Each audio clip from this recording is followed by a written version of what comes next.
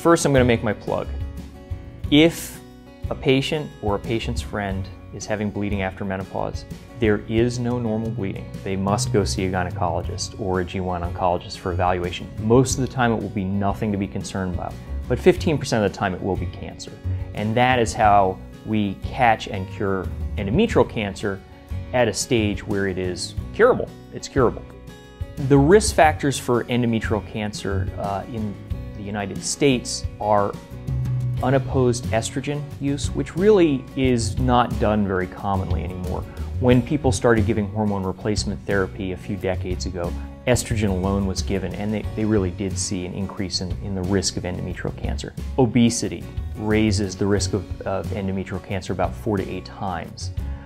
That said, obesity is a difficult subject, it's a difficult thing to treat, and uh, so it is certainly something to be aware of if a woman is overweight, that they are at higher risk. That doesn't mean that most women who are overweight are going to get endometrial cancer. Other risk factors, uh, unfortunately, just living in North America and having a Western diet is a bit of a risk factor.